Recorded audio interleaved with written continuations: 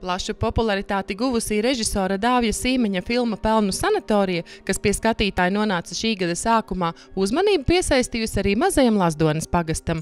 Filmā redzamā Lazdonas muiža kā noslēpumains īpašums saista skatītāju uzmanību un pēc filmas noskatīšanās rosina to kādreiz apmeklēt klātienē.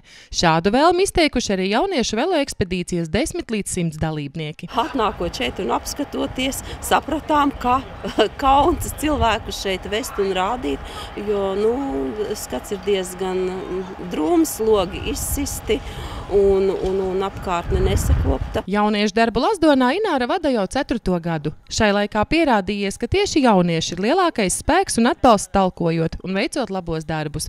Tādēļ nemirkli nebija šaubu, ka aicinājums lielās talkas ietvaros sakopt muižas apkārtni gūs atbalstu. Neskatoties uz to, ka tas ir arī privāti īpašums, bet nu, saskaņots ir ar saimnieku, ka mēs šo te apkārtni sakopsim. Cēcam zērus, kasam lapas, atrodam visādus tur zābakus, pudeles un no stika, no logiem arī stiklus izņēmām. Un to visu apkopjam, tāpēc, ka nu, mēs ejam tā kā visur garām steigā. Nu, nav tā kā patīkami, ka nu, tāds nesmuks viss. Lazdonas mūža šajā vietā bijusi vismaz kopš 16. gadsimta otrās puses, taču filmā redzamā dzīvojamā ēka celta vēlāk. Ēka ir celta 1870. gados, kad tas īpašnieks bija tāds Stankēvičs, nu, gan jau droši vien poļu izcelsmes vīrs. Viņa laikā tādu viņu uzcēla gana interesantu akmens celtne, ķieģeļu celtne, verandas, tornītis. Kā stāsta Indulis Zvirgzdiņš, 1939. gadā uz laiku šeit izvietojās Latvijas armijas artilēristi, bet padomju gados kažoks vēru audzētavas kantoris un bibliotēka. Tad, kad bija saimniecība, tie jau bija 20 gadu droši atpakaļ, ja? tad jau te viss tā kūsāja, viss bija sakopts un viss bija jauki un arī sapņu pils cēlās, un biblioteka būtu tur, kur tas grafija uzzīmēts. Jā, bet nu, notiek tā, kā notiek. 90. gadu pirmajā pusē īpašumu atguva kādreizējo īpašnieku pēcteči. Tad saimnieki mainījās, sākumā pārpircējiem bija liela izmantošanas plāni, kas tagad pārtrūkuši. Tas uzrāviens, kas bija gadus 13 atpakaļ, kad te uzradās jauns īpašnieks, jā, kas saimniecībā atstāja šīs telpas, tad bija savādāk. Tā likās, ka viss notiksies.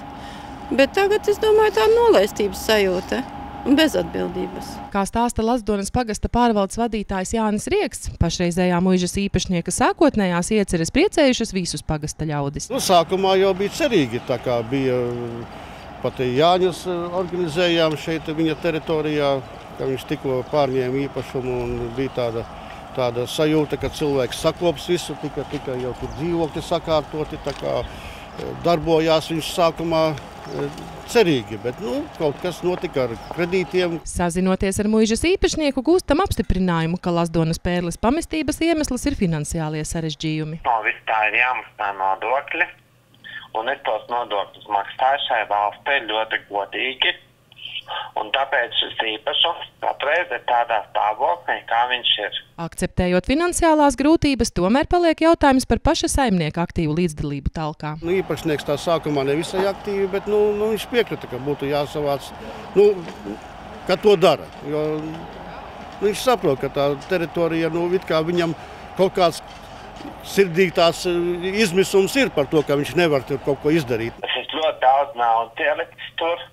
To neviens nesaprot, jo jūs arī no tā īpašuma neko nesaprotat, un tas ir ļoti bēdīgi. Ka Latvijā tāda īpašuma aiziet bojā. Mēs ļoti cīnāmies par šo īpašumu. Ja mums ir jaunākās ziņas, ka es ļoti vispār mīlu šo īpašumu. Es visu daru, cik man ir iespēja. Lai arī tiešā veidā iejaukties nav iespējams, savas kompetences ietveros pagasta pārvalde tomēr rīkojas. Mēs viņiem sūt, sūtām vēstules, sodus, uzliekam, atgādinām par nodokļu nemaksāšanu, jo nodokļi te nav maksāti daudzus gadus. Maija sākumā kaut kad viņš mēģinās to visas lietas sakārtot, un, un tad sākšot arī pievērsties. Tāda, tāda ir viņa atbilde. Jau teritorija netiek gadiem sakopta. Nu, nekas, toties ir enerģiski cilvēki, kas aicina uz talku. Un viss notiekās. Lepojoties ar vienīgo muižu savā pagastā, lazdonieši cer, ka finansiālās problēmas, kas skārušas saulēk tik cerīgo nākotnes vīziju, tiks atrisinātas. Un skaistā muižas ēka, kas lēnām caur pelnu sanatoriju kļūst atpazīstama visā pasaulē, atkal atzims savā krāšņumā.